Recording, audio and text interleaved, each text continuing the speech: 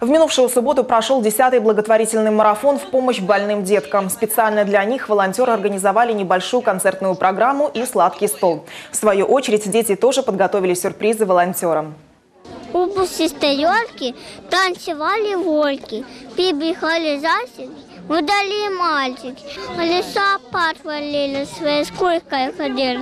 День спасен, найдет славный батик, Новый ход! Концерт посетило около 90 семей. В конце мероприятия каждому ребенку вручили небольшой гостиниц. Организаторы праздника поблагодарили всех, кто помог собрать подарки для детей, в том числе и седьмой канал. Хочется поблагодарить, конечно, в первую очередь всех дарителей наших, потому что без них не состоялся бы марафон.